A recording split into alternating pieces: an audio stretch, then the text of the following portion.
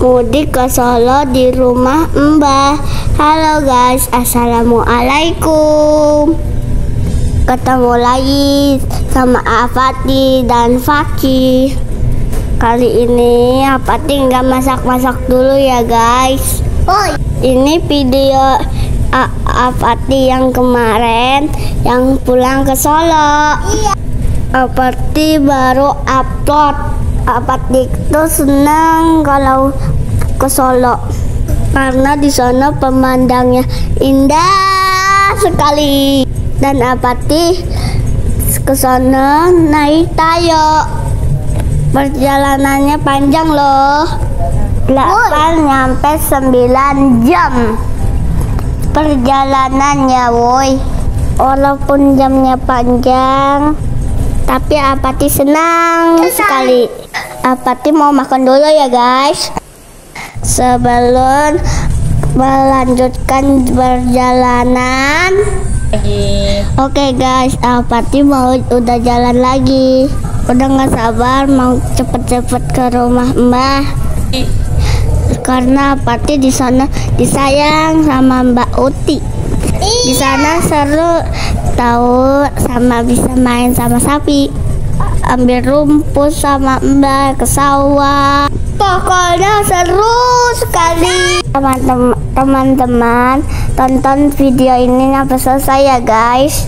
Karena Apati upload video keseruan di Solo sama Mbak Uti. Oke guys, alhamdulillah Pati udah nyampe di Solo. Tinggal dijem, tinggal nunggu dijemput sama Teteh Putri. Udah nggak sabar mau ketemu Teteh Putri sama Mbah Uti. Ini kita lihat lihat-lihat mobil dulu ya guys. Karena mobil jemputannya masih jauh. Eh, pulang kali ini AA Pati naik Sinar Jaya. Mobil bisnya lebih besar, aman dan tentram.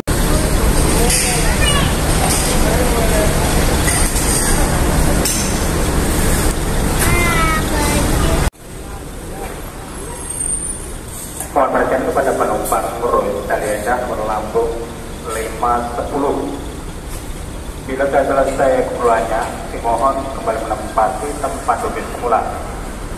Meruit Dalienda Merlambung 510 telah siap diberangkatkan.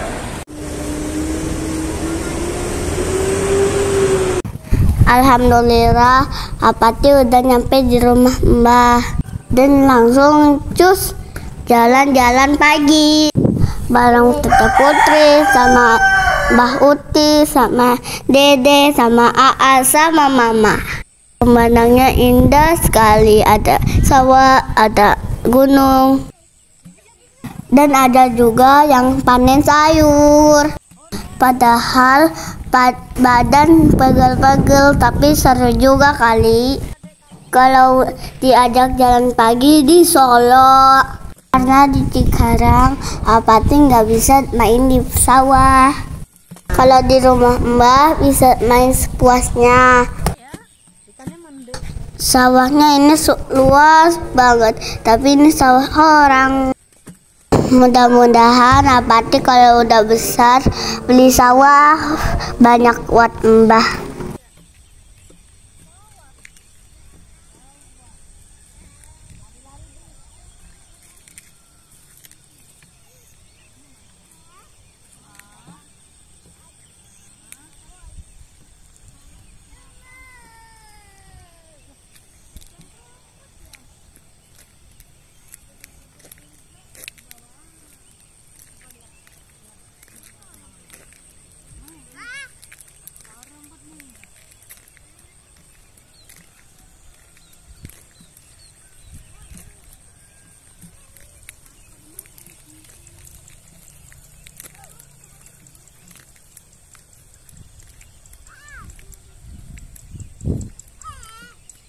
Oke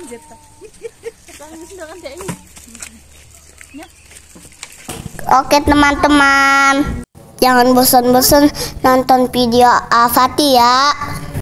Oke guys, terima kasih yang sudah nonton. Jangan lupa like dan komen ya guys. Assalamualaikum, dadah.